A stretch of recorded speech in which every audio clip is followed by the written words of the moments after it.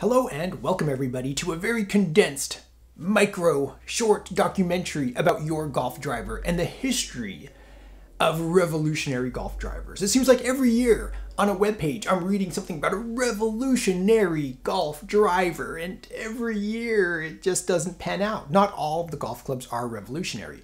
So what clubs brought ideas that really stuck? Well, let's talk about that. We have to start all the way at the beginning in Scotland, when they first started making clubs, they just used whatever wood was lying around. Most of the time, they were using ash for the shaft, and you could use ash for the club head in a pinch.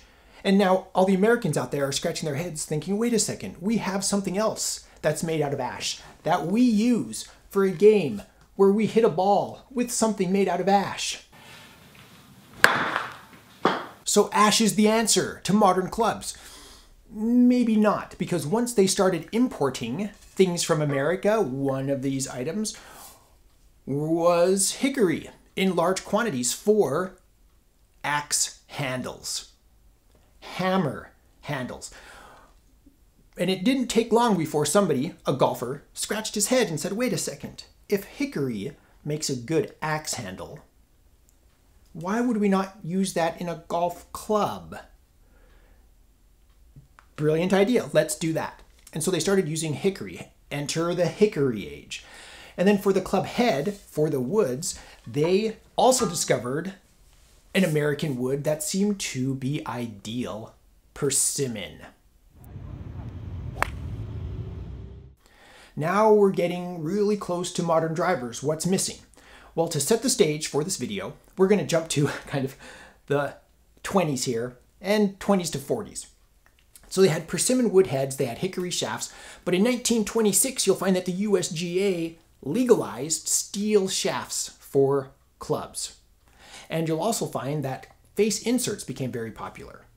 Okay, now at this point, we've had we have a modern driver. So let's look at the modern driver real quick. We have a grip. It can be leather or it can be rubber. Steel shaft, very common. Face insert in a persimmon wood, many were perimeter weighted in this case, in the aft portion of the club head, and a sole plate. All right, so this is a modern driver. Roll and bulge, easy to hit. This lasted for decades, all the way up until the 80s. And now, it wasn't until the 80s where we started seeing some really fast paced progression. And even then, maybe not every single club released was revolutionary.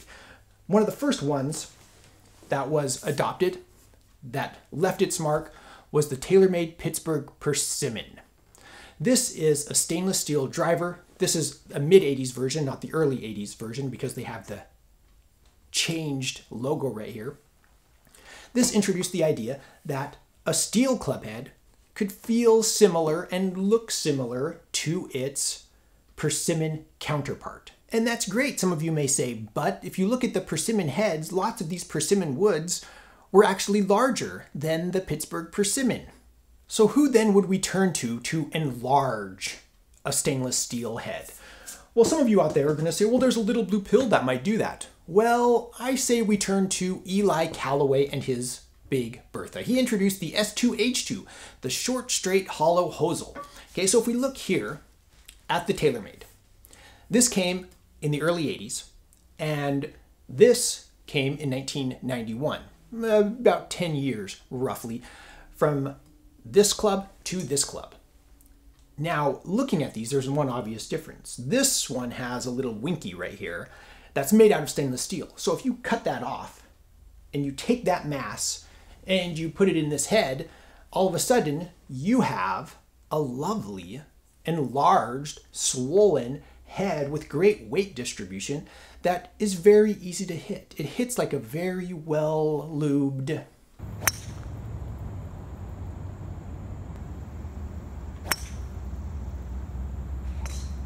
So we're done, right? I mean, Callaway Big Bertha, how could it possibly get any better? Unless it could get even bigger, but in order for it to get bigger, you would need a different material. Enter technology from the SR-71 Blackbird. That's what we have right here the very widely adopted, revolutionary titanium Great Big Bertha. Obviously, the Great Big Bertha wasn't the first titanium driver. However, it was one that was widely adopted and really set the standard for all the other manufacturers making things out of titanium. How could Callaway possibly improve on this? So I had to bring this in front of the camera so you could see this up close. Lovely titanium married with this amazing carbon fiber. Such an interesting design. This is something that I think a lot of people remember. I think there are modern clubs that are still trying to mimic this with their design, whether it be texture or whether it be just paint.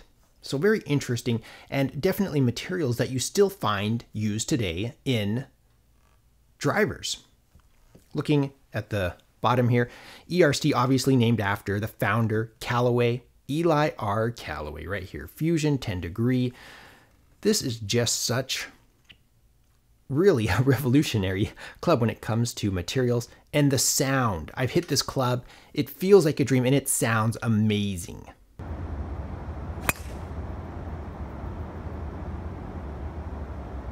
And then right on the heels of this, so Callaway obviously exploring materials, revolutionary, and then TaylorMade comes along and introduces what? The R7 Quad.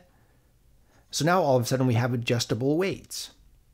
You combine these two things right here, adjustable weights, interesting materials, and you increase the size to 460cc, and then all of a sudden, what do we have? So we've arrived, right? TaylorMade just blows this up to 460cc, and we have a modern driver. Done, right? Adjustable weights.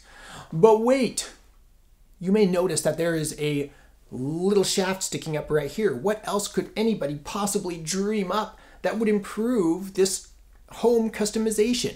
Because we live in the customization era, we order things online and we can just custom fit it at home, right? Or take it to a pro shop and have them fine tune it for us. To make that super easy, to complete the modern era driver, we're missing one thing from the TaylorMade Quad series, and that is adjustable loft and lie. So all you need, and strangely, you use a Torx bit size T25 to adjust this hosel right here. You use the same size to adjust the weights in the quad, the TaylorMade quad. So they seem to set the standard here for your Torx bit size. So even with 80 years of research and development at my fingertips, it's still just really easy to block a shot 40 yards to the right. And so here I am right now holding, almost got hit in the face with 80 years of driver technology right here in front of the camera. Have you ever seen all of these clubs together in one place? This is really starting to cramp my left hand. It's really starting to hurt right now.